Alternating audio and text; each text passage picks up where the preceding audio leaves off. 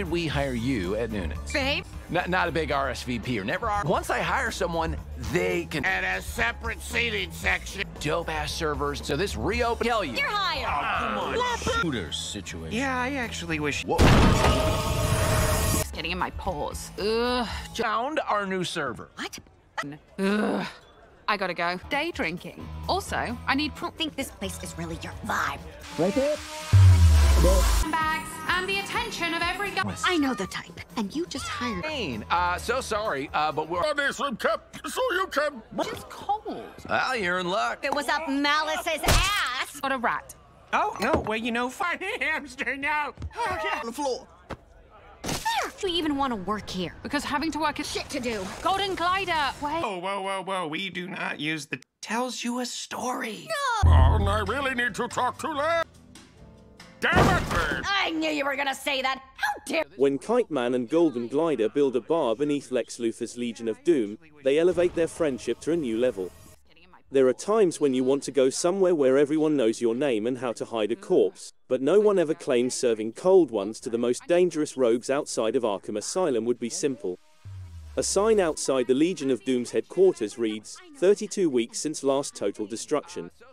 Reddick, in character as Lex Luthor, says, My fellow Legion members, what we have in this briefcase has the power to change the universe as we know it. The assortment of villains accompanying Lex for this urgent conference are sick of hearing about his schemes to kill Superman. Besides, what has he demonstrated to them? An illuminated briefcase? However, Luthor was ready for their lack of enthusiasm and dispatches Bane, Adomian to force Kite Man, Oberg to take on the role of the Hall of Doom's new aerial defender. Kite Man is thrilled to get the chance. It's appropriate to recite his catchphrase when the head of Gotham City's criminal underworld employs you, even if it's just as a temporary employee. Hell yeah. However, it's not that easy. When he botches the assignment, which he obviously does, given his tendency toward villainy, Noonan's, the pub where Kite Man and Golden Glider, HSU fell in love and the hangout for all the bad guys on the dark side of the underworld, could be destroyed. As Joe, Mo Doobles puts it, this place is for the dregs, the goons, the henchers. Speechless by Imperioli, Joe, Mo are the two heads of a gangster-like character who chews cigars. The only thing left for Kite Man and Golden Glider to do is purchase the run-down establishment in order to rescue the bar. This choice leads to a hurried cash theft from an island stronghold and the ensuing hilarious and gory combat. However, it's not that easy.